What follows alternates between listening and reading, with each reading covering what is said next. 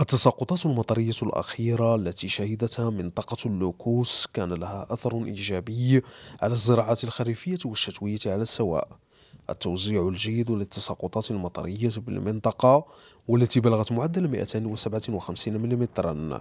كان لها أثر بالغ على مزروعات القمح الصلب والطري والمزروعات السكرية إضافة لمساهمتها في ملء حقينة السدود مما يبشر بسنة سقي مريحة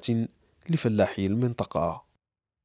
التساقطات المطرية الأخيرة اللي حلت بالمنطقة ديالنا منطقة اللوكوس كان عندها أثر إيجابي على الزراعات الخريفية وكذلك الزراعات الشتوية وحيث أنه بالرغم أنه السنة هذه سجلنا غير 257 كمعدل سنوي نقص 40% مقارنة مع السنة الفارطه إلا أن التوزيع كان توزيع جيد. تقريبا 30 متر كل شهر وهذا الشيء كان عنده أثر إيجابي على الزراعات خاطر الكلائيه كذلك. بالنسبة للمواشي غيكون إن شاء الله أثر ايجابيه وكذلك بالنسبة للزراعات السكرية والحبوب والقطاني وكذلك بالنسبة للحقين السدود حاليا سجلنا 61% من ثروات المخازن و15% من دار خرفه وهذا كيأكد لنا بأنه ممكن نكملوا السنة السقي إن شاء الله بأريحية ونبداو السنة المقبلة إن شاء الله بكل أريحية. الأراضي البورية هنا بضواحي القصر الكبير كانت لها أولوية الاستفادة من هذه التساقطات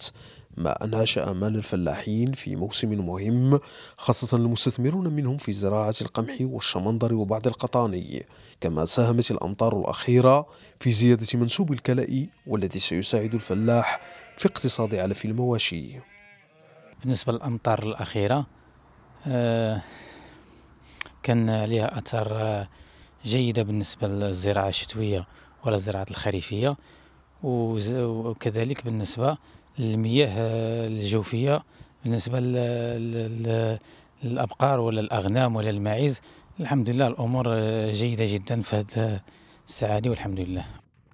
بالنظر إلى الطقس المتغير والتحديات البيئية المتزايدة فإن التوزيع الجيد للتساقطات المطرية يعد عاملا حاسما لاستمرارية الزراعة وازدهارها بمنطقة اللوكوس خاصة وأن المنطقة تضم أزيد من 72 ألف هكتار من القمح الطري والصلب